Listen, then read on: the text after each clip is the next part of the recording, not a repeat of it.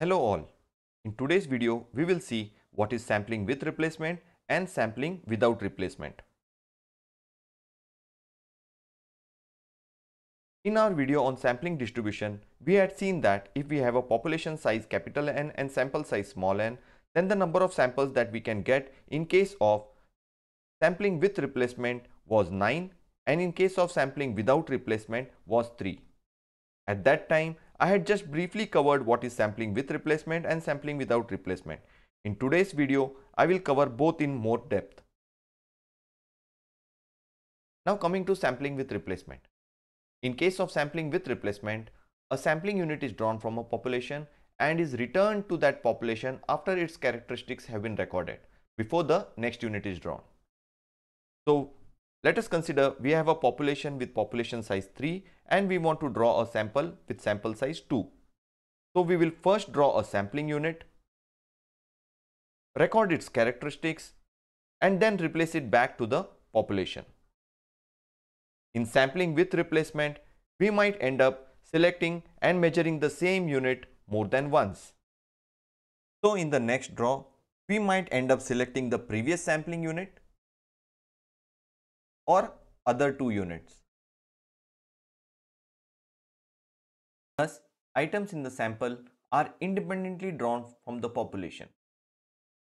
The number of samples that we can get in case of sampling with replacement are given by population size raised to the sample size.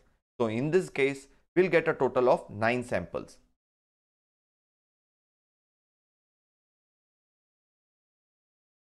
Now coming to sampling without replacement.